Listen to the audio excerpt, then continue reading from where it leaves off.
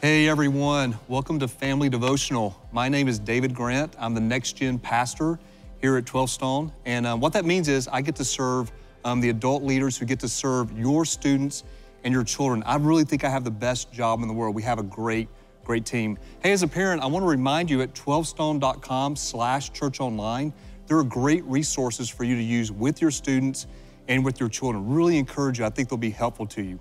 So um, this little family devotional is a little bit different than the others that we've been doing. Um, I'm technically not legally related to anybody around this circle, um, although I'd like to be. That'd be nice. Um, but here, this is what we do on Wednesday nights. Across our campuses on Wednesday nights, what we have is high school students that get in circles like this to talk about the things of life. They talk about serious issues and truth. We thought it'd be great for you to peek in and kind of invite your family into what we typically do on Wednesday nights. Okay, so why don't you introduce yourself? Emily and I are co-leading this process. So Emily, why don't you start? Yeah, I'm Emily Jones. I'm the middle school pastor at Central Campus. And yeah, I think that's it. And? Oh, and I have a baby on the way. That's Yay. exciting. And you're married? I'm married to another pastor on staff, Caleb Jones. They're, I'm apparently forgetting everything. No, it's yeah. good, it's good. And I'm Zach. I'm a senior over at Buford High School, and I attend the Buford campus. My name is Vonnae. I'm a junior at Discovery High School, and I attend Central Campus. Yeah. Hey, what are you doing next year, Zach? I'm going to be at Samford um, pursuing a career in ministry. Oh, wow, in Yay. Birmingham, right? Mm-hmm. Very good, that's exciting. Awesome. Well, hey, tonight we're talking about a guy named Gideon, and I love this story because Gideon's just an ordinary, uh, ordinary guy. So um, grab your Bibles and turn to Judges chapter 6. We're going to be um, begin reading in verse 11 in a minute. But as you're turning there, everybody's flipping um, to Judges. Maybe you got a phone or a device you're using there.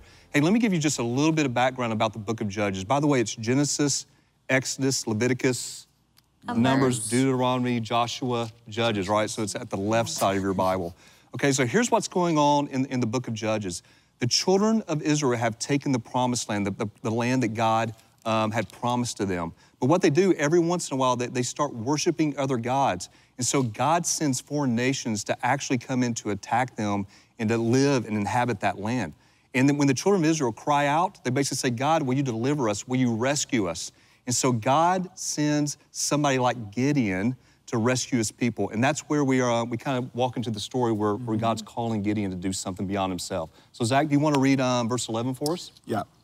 The angel of the Lord came and sat down under the oak in Ophrah that belonged to Joash the Abiezrite, where his son Gideon was threshing wheat in a winepress to keep it from the Midianites. Okay, so important question here. Um, he's in a wine press threshing wheat. Okay, when's the last time you guys threshed wheat? Uh, never. Mm, never. Never. Um, it's so much. I hadn't done it either. But anyway, so he's in he's in a wine press threshing wheat. Why do you think he was in a wine press instead of like out in the open when the air could kind of take the, the wheat and do what it's supposed to do? Because he was scared. yeah, I mean, people were coming and taking their food. He had a family to take care of, so I wouldn't blame him for trying to make sure that he had everything he needed. Yeah, he can't roll out to Kroger and get hamburger and bread and those kind of things. He has to actually prepare the food for his family. And mm-hmm. instead of doing it out in the open, they would throw the wheat up in the air and the chaff would be blown by the wind. Instead, he's actually hiding in a wine press, which kind of makes sense because he's, he's in a scary, scary time with the Midianites taking over, taking over the land. So the angel comes and sits down beside him, which is weird. It doesn't say he was scared. Yeah. Is that weird to you guys too? But Yeah. anyway, an angel shows Angels up. aren't normal. No, so. they're not normal. Well, maybe to him they were. I, you know, Yeah, it's kind of strange. He just kind of goes on his way. And um, look what the angel says. When the angel of the Lord appeared to Gideon, he said, The Lord with you, mighty warrior. I mean, I am mm-hmm. threshing, I'm Gideon, I'm threshing wheat in a wine press because I'm afraid the Midianites are going to steal my food. And yet God calls me a mighty warrior. Why is that? Uh, it's actually extremely ironic if you think about it, mm-hmm. because if you're Gideon, you're hiding in a wine press, you're just trying to provide for your family, you're probably in a lot of fear. And the mm-hmm. last thing you would think of yourself is a mighty warrior. Uh, but the truth behind this is that God saw something in Gideon that Gideon did not see in himself. Yeah. And I think that actually is true of us. God sees something in each every one of us that we don't see in ourselves. And I think that God sees something in you and, and in the next generation that adults don't see. Sometimes we don't even see it as the next generation, what God has for us and what He sees in us. Yeah. Mm-hmm. So in verse 13, it says, Pardon me, my Lord, Gideon replied, but if the Lord is with us, why has all this happened to us? Where are all his wonders that our ancestors told us about when they said, Did not the Lord bring us up out of Egypt? But now the Lord has abandoned us and given us into the hand of Midian. Okay, so this is really an honest question. Yeah. Right? I think it's really relevant for today. So Gideon's kind of like, okay, God, I've heard about what you did to Pharaoh. I've heard about you um, opening up the Red Sea. You are the God of the locust who actually, you know, all those stories. He's heard about these wonders that God has done, and yet he's hiding in a wine press mm. threshing wheat. And so he's kind of like, God, why?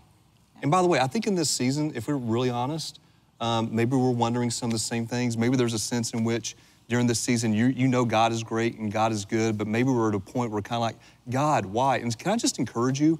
If you're doubting and struggling right now, don't keep that to yourself. God is mm-hmm. secure enough for you mm-hmm. to actually go to Him and say, Hey, God, why? Help me out here. Help me understand.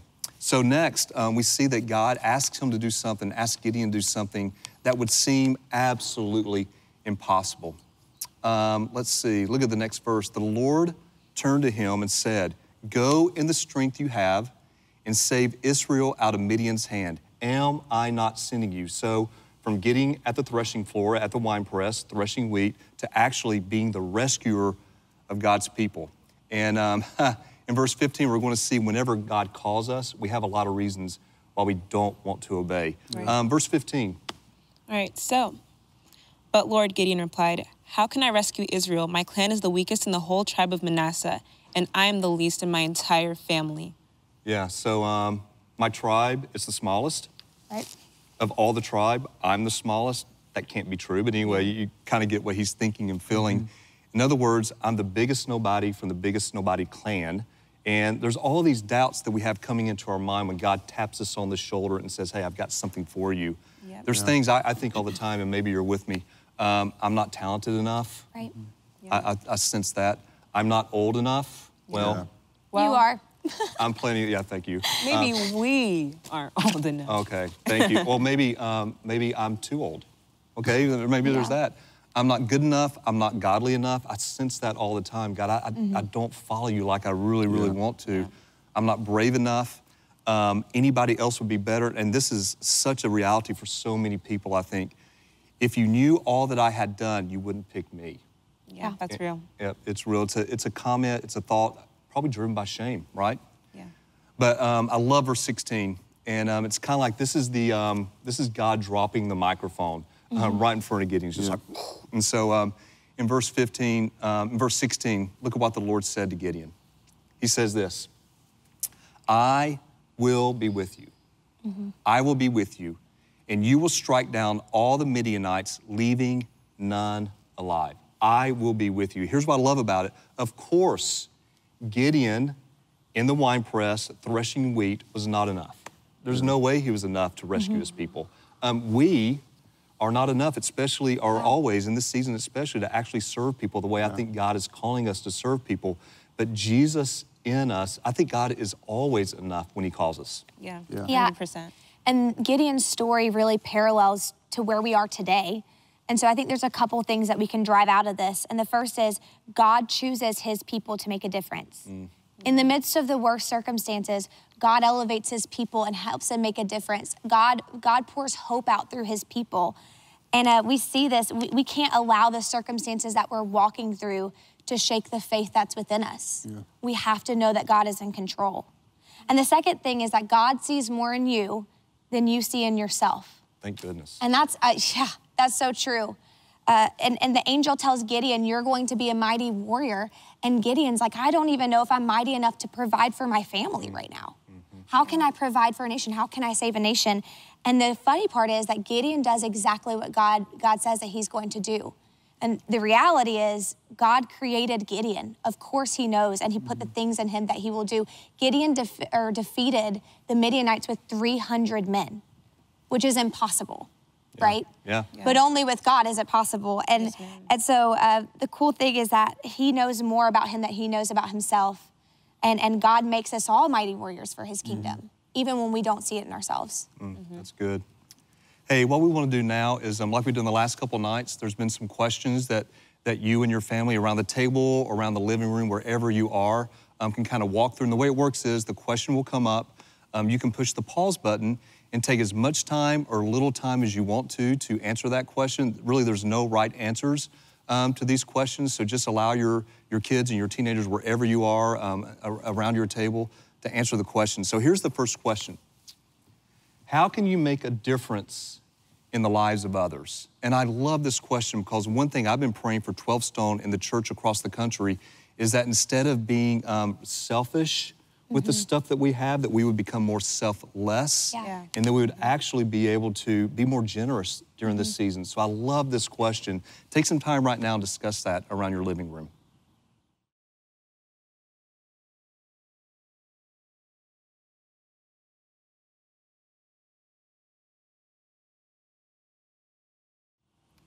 Hey, I know that generated some great conversation. Um, we, we had some great conversation here. Mm-hmm. Uh, we do have another question for you, and I think it's equally important in this season. Here's what it is What is keeping you from doing that? So, you just had a conversation with your family about how we could actually be servants in a safe way during this season. Um, now we're asking the question what is keeping you from doing that? Remember, what we talked about, Gideon had a lot of reservations about actually, can I really be a rescuer? So remember, we talked about the insecurity of I am not enough.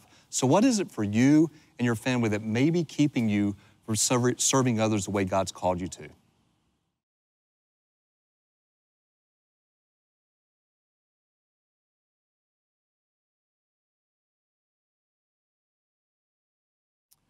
Well, hey, that's question number two, and that kind of concludes our family devotion for the night. Um, hope you really enjoyed this time together. I actually have some good news for you. There's actually a part two um, to this time together. And if you're a family and you're closing up, that, that's fine. And Danny, some of you probably have kids running around the room and, and you need to kind of shut it down, which is great.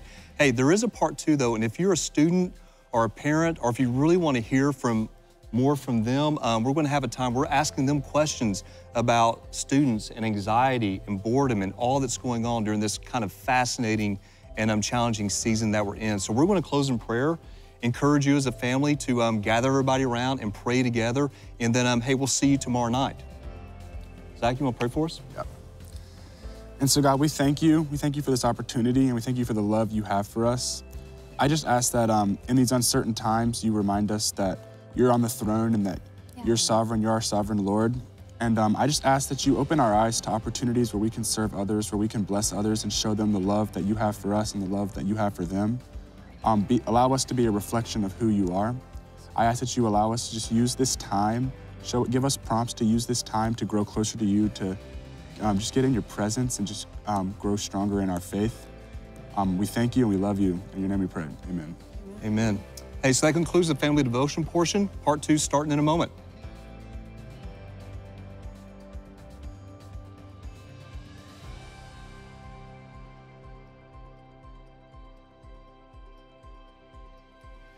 Hey, so thank you for sticking with us. You've heard a lot from Emily and me over the last few minutes, but now we really want to hear from, from these guys on what's going on. Here's the deal. I think, I think there's a lot um, they need to learn from older people like Emily and me. Um, but there's a lot we can learn from them. So um, I'm really excited about hearing what's going on in their hearts and minds. So Emily, you have the first question. Yeah, um, so we obviously just talked a lot about Gideon, and we see there's a lot of parallels between what he was walking through and kind of the situation we're walking through. So how did that story resonate with you? Did you did you draw any conclusions or did anything stick out to you about it? Um, yeah, I think definitely now more than ever, it's really hard for us as students just to really believe in ourselves. I feel like with mm-hmm. anything we do, whether it's like ministry or sports or like school, you want to make sure you have what you're doing, yeah. that you know it 100%, that like you know what you're doing mm-hmm. before you even try to lead somebody else. Mm-hmm. Mm-hmm. And now we kind of need that leadership among students more than ever. So it's really hard. Even if somebody, like even if David were to tell me like, I believe in you, I have to believe, believe in myself. In oh. thank you, okay. thank you, thank you. But I have to believe in myself to mm-hmm. actually be able to put that forward. So I think it's definitely that's something that resonated with me. That's what Gideon was struggling with, right? Yeah. So am I enough? Yeah. Right. Yeah. And I would add, like, in the passage, Gideon was like angry at God and he was doubting him and questioning mm-hmm. him. And yeah. I mean, I've recently learned that, like, when we get angry at God, it means God is close. Hmm. Wow. Because you have to be angry at someone who is present. Yeah. And so, like, That's in really these times when we question God, you know, God is close and God's with us, it's just, you know, God wants us to question him because he gives us the mm-hmm. answers. Mm-hmm. And he can take it for sure. He yeah. can. And I mean, even in our current sermon series that we've been doing. It's, it's basically the Psalms, which is one of the yeah. most honest books in the Bible. Mm-hmm. There's a mm-hmm. lot of stuff there. It's similar to what Gideon was talking about. Hey, let me shift a little bit to maybe um, some more specifics about what students are sensing and feeling. And um, I'd love for you to make this personal, but I'd love for you to kind of um, get outside your own body and look around just as students, your friends in general. And here's the question I want to throw at you How are high school students processing what's going on in the world right now, whether it's anxiety, boredom? I mean, you fill in the blank. Well, I would say uh, we're partially busy with schoolwork. Yeah. of Okay. course. how much? Like, how, how many times a day are you, or how many hours a day? I'm spending like an hour. A lot. Well, well, I have a do very more shortened at home schedule. than I do at school. you have one hour of schoolwork a day? I have a very shortened schedule, so I guess if my teachers are watching this. You have seven hours if your But- teachers are watching. Yeah. but um, I think uh, there's a lot of boredom, Okay. but I think like if we can figure out a way to like do something productive instead of just like laying around, I've kind of made that a point for myself. Um, What are a couple of things you're doing that are like are? I read a whole book yesterday. Oh my oh, goodness. that's crazy. I mean, it was, it was like it wasn't a super long book, but like. Was it a comic book or like a real no, book? no, no, it was a real book. It was a Okay. real book. Is it a real book? But I just sat there like I have nothing better to do. I can't go anywhere, so I read Yeah. a book and like it was a good book and What was it? it was uh, Tale of Three Kings. Oh, that's a Oh my book. goodness, yeah. yeah, it was really cool. Good stuff. Well, I'm a junior, so like my schedule's full. So honestly, I feel like we get more work at home than we actually ever do in school.